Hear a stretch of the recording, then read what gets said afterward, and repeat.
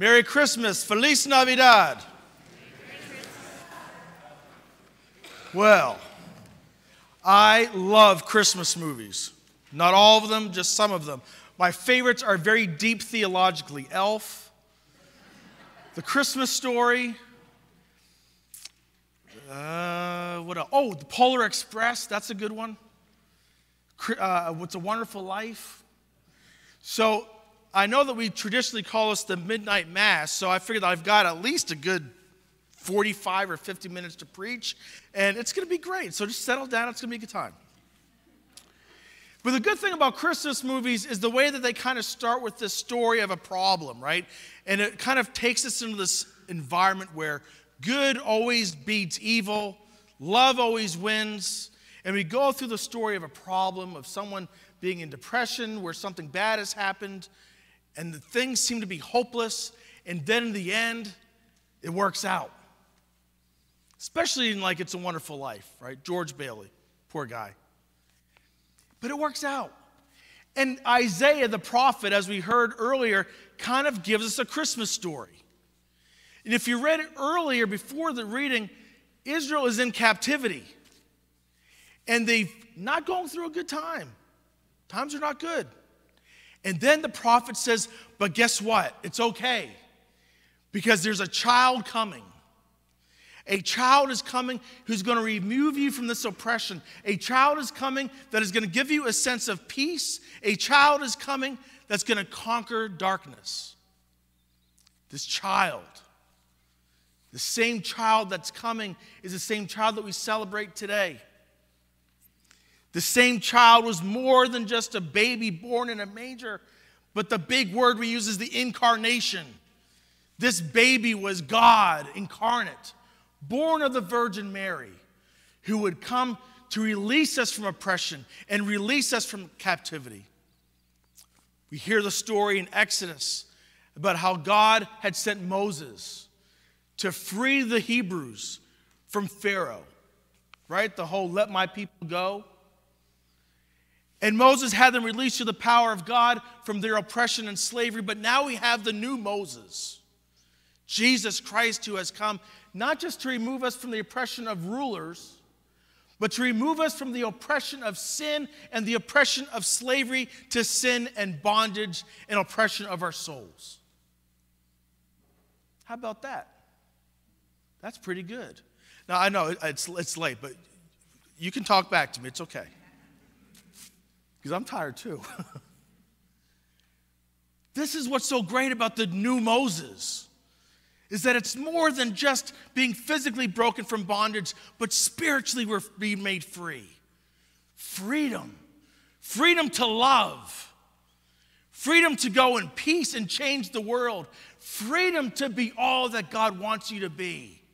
Your story, your story doesn't end in darkness and despair. We're not stuck in the middle of a Christmas movie. Because of Christ, we've been released from pain. And that is what we celebrate today.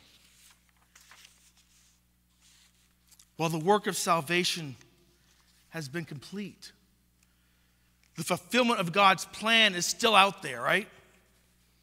We are kind of like George Bailey. Remember in the movie where George is like, everything is just falling apart, right? Town hates him. His wife hates him. His kids hate him. His dog hates him. There's just a mess, right? And he's out wandering around the streets. And then Clarence comes. And what does Clarence do? He tells him it's going to be okay. It's going to be okay. And you know what? We might find ourselves like George Bailey in times of darkness, in times of pain in our lives. But we don't have to be conquered by our fears and by our pain and by our disappointments and by our, our, the, those things that keep us kind of from being all that God wants us to be. We have a Clarence, a little better than Clarence. We have God, God incarnate, who is here, who has broken those things so that we can be free to hope, so we can be free to know that there's something greater out there. Look, this life is not to say that there's never going to be seeds and watermelons and peach and have fuzz and unicorns and ponies and puppies.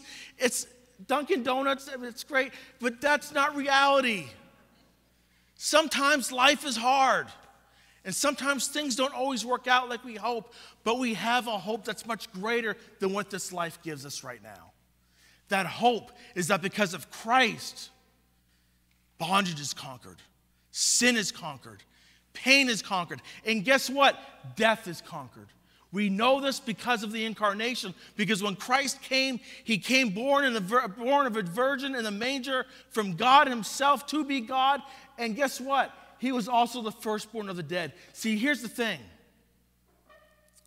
We love to have this night of Christmas, and we come and we get around the manger and we sing the songs and we say, Oh, isn't this lovely? We've gone to church tonight.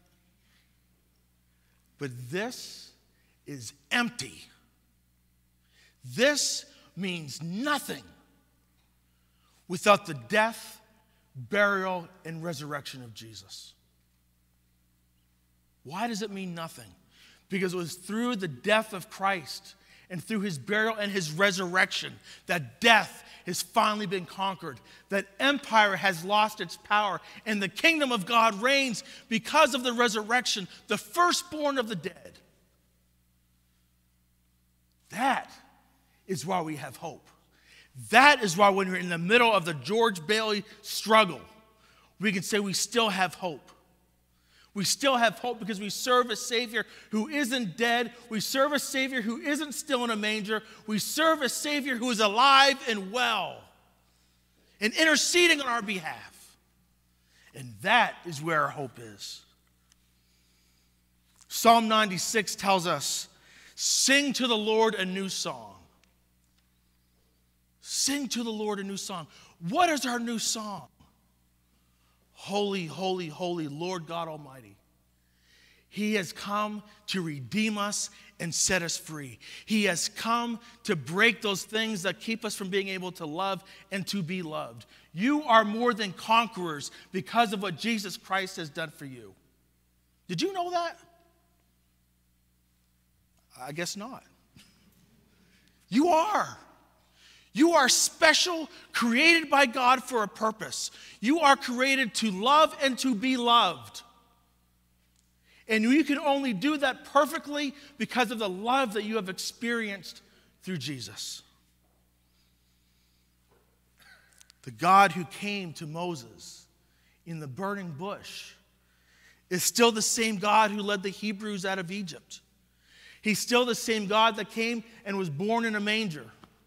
He's still the same God that changed water into wine, that loved and taught the disciples how to love.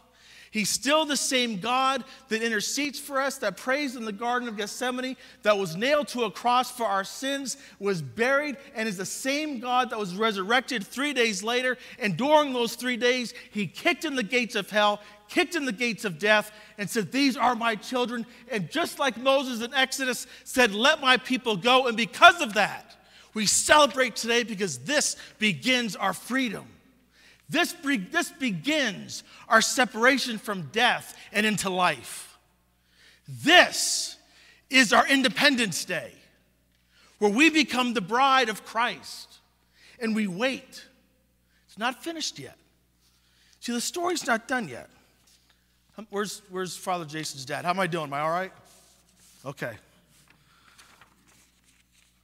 We wait for the fulfillment of our salvation. We heard that in the epistle.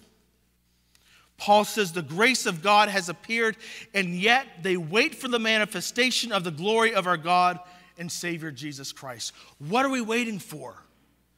We're waiting for his second coming. We're waiting for his return when the work is completed. He's no longer a baby, he's no longer on a cross. He's no longer in a grave, but he is with his Father in heaven, preparing a place. Preparing a place for us. In ancient Jewish tradition, when a, a bride is engaged to her groom, the groom has to go and, and he builds an extension to their house. They build this extension to bring his bride back to. And it's interesting that in the tradition, the only time that the groom can leave to go get his bride is when the father says it's done. You know where I'm going with this. We are the bride of Christ, and he's with his father preparing a place for you and I to go. And all he's waiting for is his father to say, Son, go get your bride. We are his bride. And so we wait and we labor and we love and we celebrate Eucharist and we come to Mass because it's the community of faith. And we say, We are chosen by God for a purpose. And so we wait for him to come. This is more than a tradition or a celebration of something that we do out of some kind of a cultural experience. This is a relationship that we have. This is a relationship that changes the hearts of women and men and children for 2,000 years because there's more out there. God has more for you. And I don't know where you're at tonight. Maybe you've got this all figured out. Maybe you know you, are good. But maybe you sit here tonight and you're like, you know, I'm here because my mom said I have to be here. I'm here because my dad said I don't get a Christmas present if I don't come to church. Or maybe you're just trying to make sense of this whole thing. And my message to you is this if you want to know what the story of Christmas is, if you want to know what tonight is all about, it's very simple. For God so loved the world that he gave his only begotten Son that whosoever, no matter who you are, no matter where you come from, no matter what you've done, the sins you've committed, how rotten or filthy you think you are, he has come to bring you eternal life. And that eternal life is what our hope is. That eternal life is what gives us strength. That eternal life what makes us know that as disappointing and struggles as life may be, there's a greater future out there. There's a greater hope out there that Jesus Christ himself came so that we could have relationship with him, have relationship with God and not be bound by empire, but be free from those things, free from the power of death, free from the power of sin. This is about freedom. So what are you going to do? What are you going to do? You going to leave here say, well, that was pretty. That was nice. Or do you leave here knowing that you have been, that you have experienced Christ, that your life has been changed and transformed, and so now, what do you do to live for Him? Because He's coming. Christ is coming again, and salvation will be completely fulfilled. And then we will have joy everlasting joy that will be fulfilled. And then we will sing, Joy to the world.